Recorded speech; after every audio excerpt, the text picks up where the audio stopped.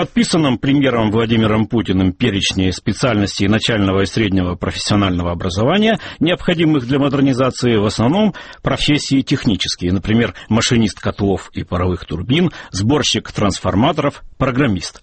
Представители этих профессий могут, начиная с будущего года, претендовать на президентские от 7 до 14 тысяч рублей в месяц и правительственные от 2 до 4 тысяч стипендии.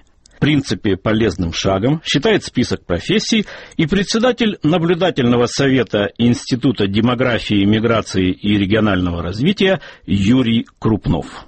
На самом деле, при всей критике и правильной данного списка, необходимо отметить самое главное. Это то, что все-таки подчеркнуто взят курс на возвращение статуса инженера вообще в нашу экономику. Ведь на самом деле весь тот развал, который произошел в 90-х годов, он преимущественно определялся тем, что на место профессионалов и инженеров во всех крупнейших отраслях пришли менеджеры или менагеры, как их называют в народе. То есть те, кто умеет считать и фиксировать финансовые потоки, но абсолютно ничего не понимает в существе производства и, соответственно, инженерного дела.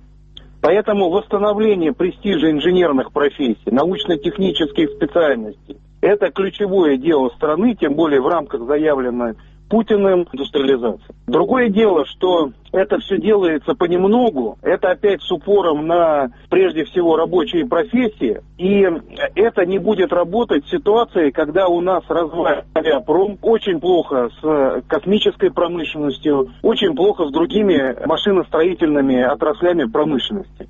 В этой ситуации, если мы их не будем восстанавливать, то любые меры по стимулированию рабочих профессий, специалистов инженерных, они, в общем, окажутся бесполезными.